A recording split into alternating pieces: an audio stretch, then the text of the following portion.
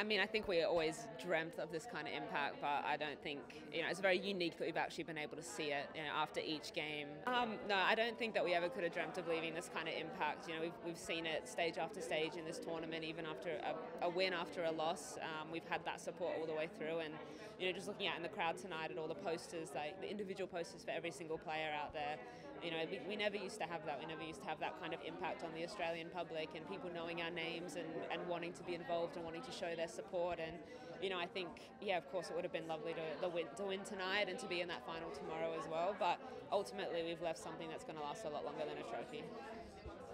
Um, World Cup journey's over for us, but it's still just the beginning, beginning for women's football in Australia.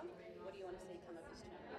I mean, I'm hoping that off the back of this, you know, we have a, whole bunch of the Australian public go out to the A League Women's um, competition and support their local clubs because that's where we all came from. Every single player here has played in that league, and you know, a league that, that got us to this point. So we're very grateful for that. But to have that support throughout the league, get that those crowds, it means a lot to the players there, and you know, it'll make people want to want to come back. It will draw more attention. Have internationals come as well. I think you know to get the public kind of interested in that as well would be amazing. Important has that fan support been in terms of you guys making history the way you? Yeah, it's been wild. I mean, I don't think I've ever heard anything as loud as, as our, our crowd. Um, in certain aspects, sometimes they're very quiet. I think we need to learn some chants. but no, it was it's been amazing. Um, you know, singing the national anthem with 75,000 people in the crowd is, is unbelievable. So yeah, I'm, I'm still shocked at, at what we've been able to achieve.